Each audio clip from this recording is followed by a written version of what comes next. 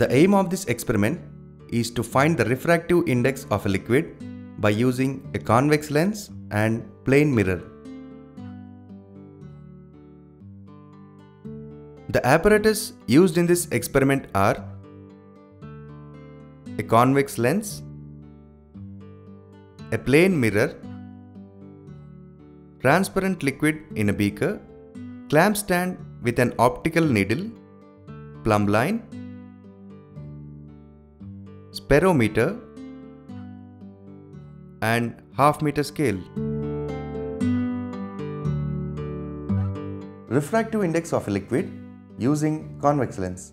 Consider a plane mirror and place it on the horizontal surface. Place the convex lens on top of it. This experiment requires the stand and clamp setup. Clamp the object needle to the stand in such a way that it moves along the principal axis of the lens. Now, adjust the object needle by looking into the lens so that it forms a sharp and clear image I. Here, P is the upper surface of the lens, Q is the point on the plane mirror and PQ are the points on the principal axis. Now, measure OP and OQ. The mean of OP and OQ gives the focal length of the lens. Keeping the setup as it is, remove the lens and pour few drops of liquid and place the convex lens on top of the liquid. This arrangement forms a plano-concave liquid lens. While looking into the lens, adjust the object needle so that it forms a sharp and clear image I dash. Now, measure O dash P and O dash Q. The mean of O dash P and O dash Q gives you the focal length of the lens with liquid. F is equal to effective focal length of the liquid lens plus convex lens. F1 is equal to focal length of convex lens. F2 is equal to focal length of liquid lens. Focal length of their combination is given by 1 by f is equal to 1 by f1 plus 1 by f2.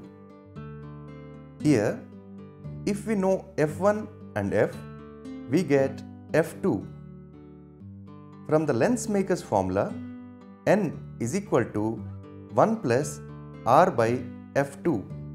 R is equal to radius of curvature which we measure using spherometer. f2 is equal to focal length of liquid lens. Once we substitute these values, we get the refractive index of the liquid.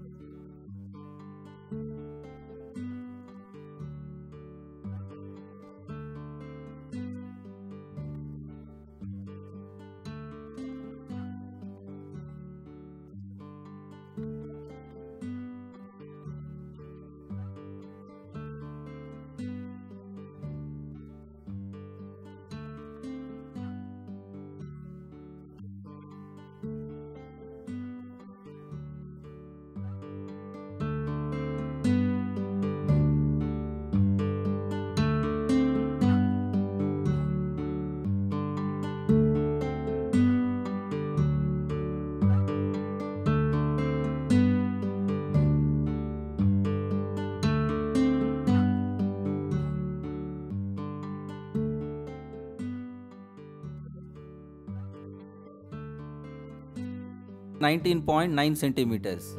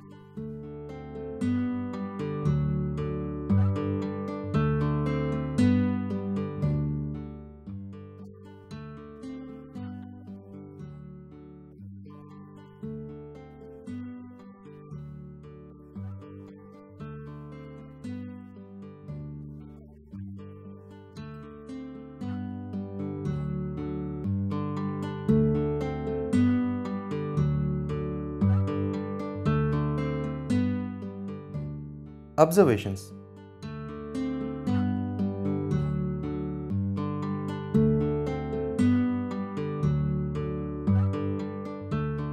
The rough focal length of the convex lens is equal to 10 centimeters. Radius of curvature r of the convex lens as determined by the spherometer is equal to 20.03 centimeters. Observation table Distance from the tip of the needle to the lens surface x1 without liquid only convex lens. The distance of the needle from the surface of the lens when inverted image is formed is 19.9 centimeters. The distance of the needle from the surface of the plane mirror is 20 centimeters. Mean x is equal to x1 plus x2 divided by 2 that is 19.9 plus 20 divided by 2 that is equal to 19.95 centimeters. Focal length f1 is equal to 19.95 centimeters.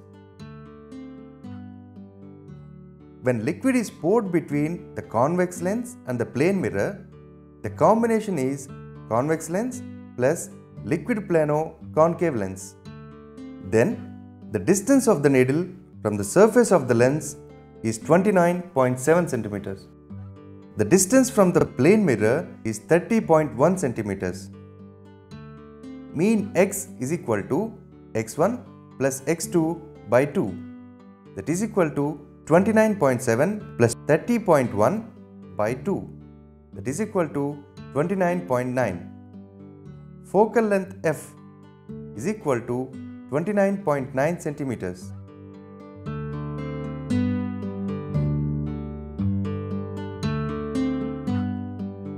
From lens maker's formula, 1 by f is equal to 1 by f1 plus 1 by f2. Here, f1 is equal to focal length of the convex lens, f2 is equal to focal length of the liquid lens, f is equal to focal length of their combination. Therefore, 1 by f2 is equal to 1 by f minus 1 by f1. Substituting these values of f and f1, f2 is equal to 59.94 centimeters and n is equal to 1 plus 20.03 divided by 59.94. Therefore, refractive index of liquid n is equal to 1.334.